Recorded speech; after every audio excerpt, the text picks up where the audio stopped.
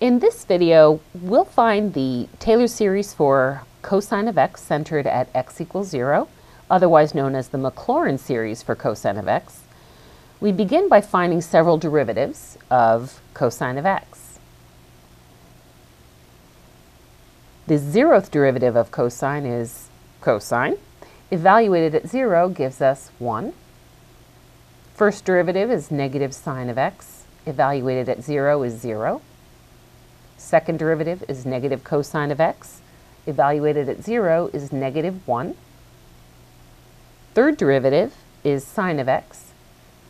Evaluated at 0 is 0. The fourth derivative is cosine of x. Evaluated at 0 is 1. So, in generating a few of the terms in this Taylor series, we have 1 divided by 0 factorial, x to the 0, plus 0 divided by 1 factorial, x to the first, minus 1 over 2 factorial, x to the second.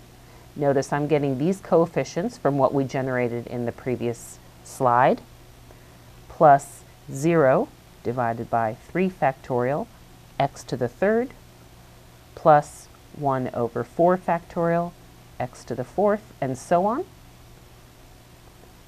We find that this is equal to 1 minus x squared over 2 plus x to the fourth over 4 factorial, and so on. We notice that the terms are alternating and the powers are all even. So we can actually write this in general form as the sum from k equals 0 to infinity of negative 1 to the 2k divided by 2k factorial x to the 2k. Verify this on your own paper.